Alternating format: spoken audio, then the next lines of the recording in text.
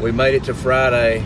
Call me crazy because she's driving. I'm the better driver. Right.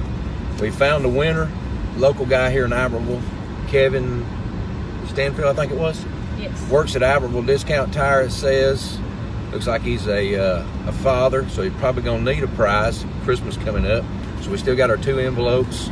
We're cruising down there to find him in a 2013 Charger, Allie. Yep. Keep your eyes on the road. Be careful. Slow down. It only has 64,000 miles. 64,000 miles. really nice. I like it. Still, fast. still, still just busy as everything at the lot with tax anticipation going on. So y'all come see us. We're gonna go see Kevin though, see what he can win, okay?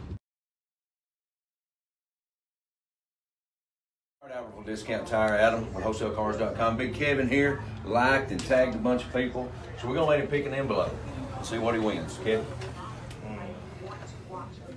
Go with this one. All right, he's gonna go with that one. All right, got twenty-five dollars. Got him 25 bucks. I tell you what, he's the only one working up front.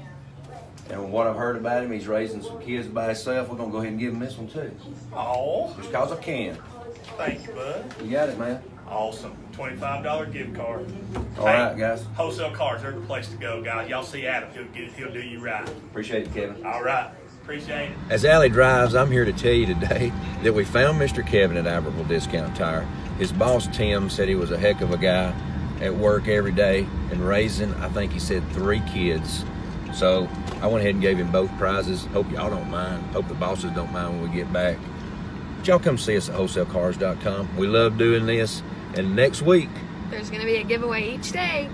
And this time it's going to be y'all tell us places to come. So be suggesting.